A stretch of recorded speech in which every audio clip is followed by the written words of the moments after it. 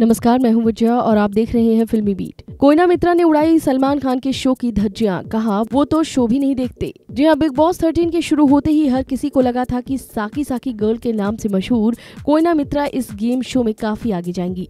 खैर, सलमान के इस शो के दूसरे हफ़्ते में ही कोयना मित्रा को घर से बाहर का रास्ता दिखा दिया गया। बिग बॉस थर्टीन के घर से बाहर आते ही कोयना ने सलमान के खिलाफ काफ़ी जहर उगला था।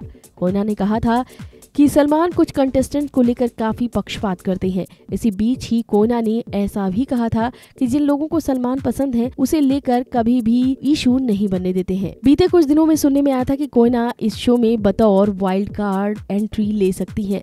इसी बीच कोयना ने सलमान खान पर फिर से उंगली उठाई। टाइम्स ऑफ़ इंडिया को दिए हुए एक इंटरव्यू में कोयना ने कहा है कि सलमान ने मुझे मेरी बात नहीं कहने दी। उन्होंने हर किसी का साथ दिया ताकि मैं झुक जाऊँ। मेरे साइड की कहानी को अच्छे से नहीं दिखाया गया। सलमान सही नहीं है। कोयना ने आगे कहा कि सलमान के पास इतना समय नहीं है कि वो इस शो के हर एपिसोड को देखें। जब वो मुझसे वीकेंड का वार पर बात कर रहे थे तो किसी ने आकर उनके कानों में कुछ और कह दिया और फिर उसी बात को मुझसे रिपीट कर रहे थे। चैनल वाले उन्हें बताते हैं कि उन्हें क्या बोलना है।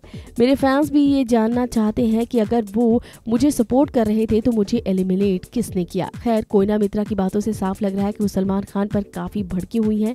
वैसे बात की जाए कंटेस्टेंट की तो उन्होंने आरती को स्पाइनलेस और सिद्धार्थ को वो सेल बताया। फ़िलहाल कोयना मित्रा की तगड़ी फ़ैन फॉलोइंग है। फैंस उन्हें काफ़ी पसंद करते थे और जब कोयला मित्रा घर से बाहर हुई थी तो फैंस काफ़ी ज़्यादा दुखी दिखे। फ़िलहाल इस वीडियो में बस इतना ही।